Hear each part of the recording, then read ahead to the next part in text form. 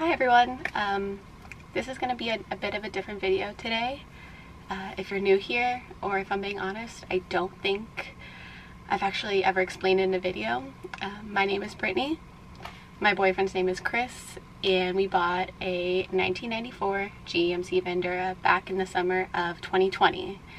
We had ideas we'd want to do road trips and things like that, but an idea sparked in my head. And I was a little bit bigger than uh, I think we had ever planned. A little backstory my dad was diagnosed with cancer when I was 10 years old. We didn't think he was going to survive then, but he beat all the odds. He did. But over the next 14 years, he ended up having a good amount of health problems. And starting in 2019, he actually had to get on a feeding tube, and things became kind of like a roller coaster. He would go really, really deep lows, but then he bounced back and stuff like that, but it wasn't looking good. So I knew I wanted to do something for him. And back when I was younger, he would always quiz me on the capital, largest city, and university of each state. So I had this wild idea to travel to all three of those locations in all the lower 48 states and film a video of myself at each one of those locations being like, hey dad, I'm in Sacramento, the capital of California, and put together a video for him. So I proposed this idea to Chris and somehow he said, let's do it because it is a bit of a wild idea. So we built out a van for about six months, saved up our money for a year, and we had planned to go on this five month road trip to make this video for my dad and just do the world's longest road trip and just make it a really amazing thing. If you've been watching our videos, a few videos ago you might have seen that we had to make a trip down to Florida. We were supposed to go up north to Colorado, but we actually changed plans and headed straight to Florida. And that was because my mom gave me a call that my dad wasn't looking too good in my head, I thought this will probably just be kind of a usual thing. He kind of, he'll hit some lows, but then he bounces back. It had happened many times before. But still, my mom was like, I think it's important that you guys come now, just to be safe. And said, okay, no worries. And we made our way to Florida. The plan was just to spend a few days there with him, spend some quality time with him. And that was the plan, yeah. And we did. And the day we were supposed to leave, my dad woke up in the morning and he was trying to move from one part of the house to the other and he actually fell. And the fall really just kind of knocked him out. The, the people, like the ambulance had to be called. They had to do CPR on him to get his heart beating again.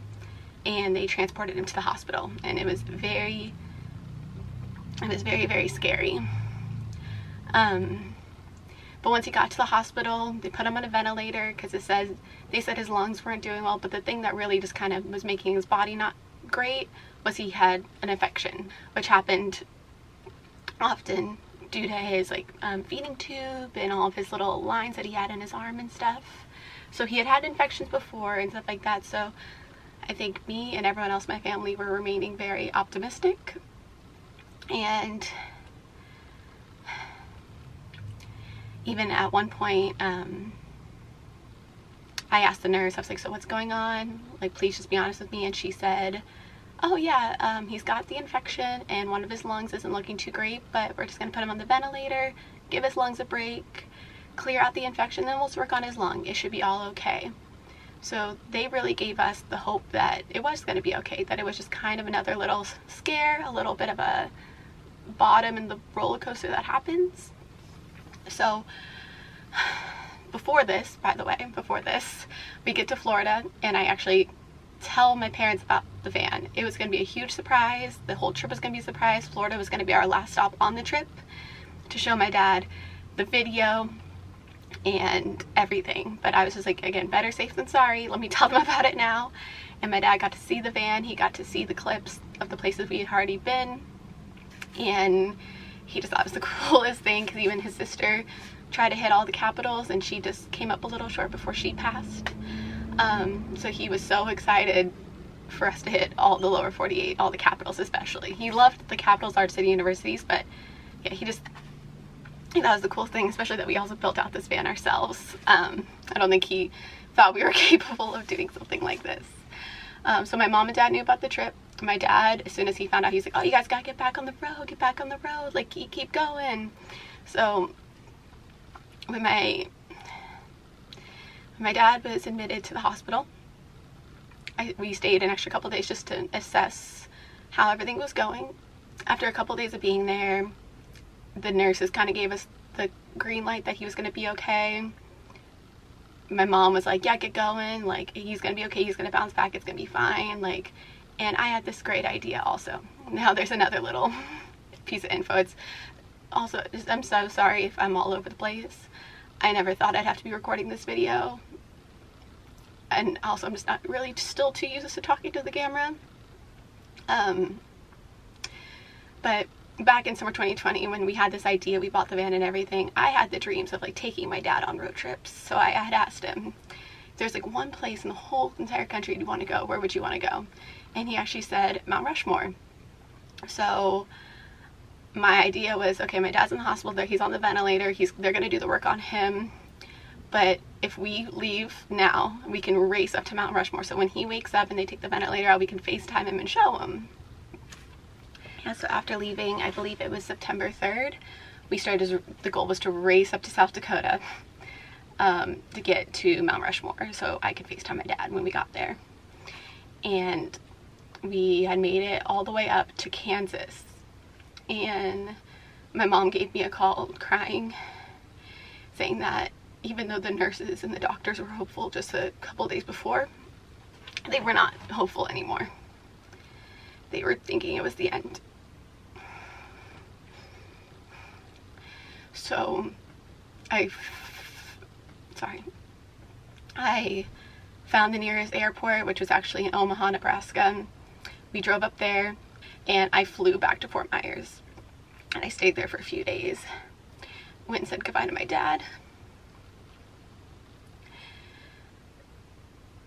and also this was like also really hard because since in the midst of COVID, only one person's up allowed in the hospital room at a time. So like my whole family couldn't be up there with him.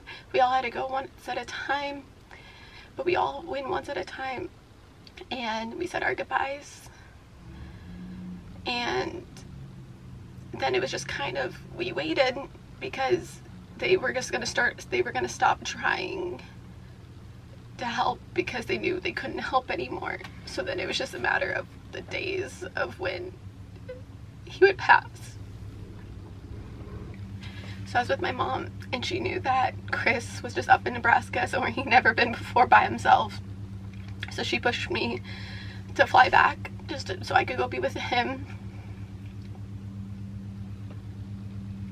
So a few days later I flew back and I got back to Omaha in on Friday. Chris and I still just we're just trucking along, trying to figure out what to do. We still kept on hitting the capitals because no matter what, I still wanted to make this video for my dad. Um, so we keep trucking along, and it was by the time we had gotten to it was South Dakota, and that's when I got the call from my mom that he had passed away. And um, like I said before, only one person was allowed at the hospital at the time, so my mom was with him when he passed. And luckily we all got to say goodbye to him. But it was just, it's, been the hardest thing, especially now editing these videos, because they were all for him. So this video is in dedication to my dad. I hope that he gets to still watch this whole journey with us and see us visit all these places and see that now I can just see and see that we just did it all for him. Something I do want to end this video on. So the day that my dad passed, it wasn't until like a bit of the afternoon, and that was the day we were supposed to go to Mount Rushmore. Again, the original plan to try to get him on FaceTime to show him but we had slept in a Walmart parking lot and when we woke up in the morning there were a bunch of like there was just chaos outside and it made us nervous to leave the van so we decided not to go to Mount Rushmore that day and when I told my mom that she she said well maybe it was meant to be because now you guys can go tomorrow and now he can go with you guys um um so that was the plan. The next day we were gonna go to Mount Rushmore so I could just feel like I'm there with him. Because it's the place he always wanted to go but he never got to. And um, but I have a clip. We had slept at a little campground nearby Mount Rushmore and we were gonna go at sunrise. It was gonna be this really special thing. We had woken up and it had been raining so it wasn't projected to rain and it had just been raining really hard and it said it was gonna be raining for a few hours but and we talked to the camera we said this probably isn't gonna work probably can't go right now which it broke my heart just because something I just really wanted to do like with him and we turned off the camera and I don't think we recorded this but as soon as we turned off the camera within five minutes the rain completely stopped. And that just felt so special because it felt like he was up there and he knew that it was like we were all gonna go together and it was the rain that was stopping us and the rain just completely stopped. And it was just one of those feelings where um, I really felt that he was with us and it was really special. So for this video for my dad, I just want to end it with our clips from Mount Rushmore because they really feel like he was able to go with us. After everything that happened at Mount Rushmore with the rain, I just really do feel like he was watching and that was his little nudge to um to keep going. And after this video, we do continue on the trip. We continue to try to hit all the lower 48 capitals, largest cities, and universities in honor of my dad. So next video we will continue trekking on. But thank you so much for listening to this video.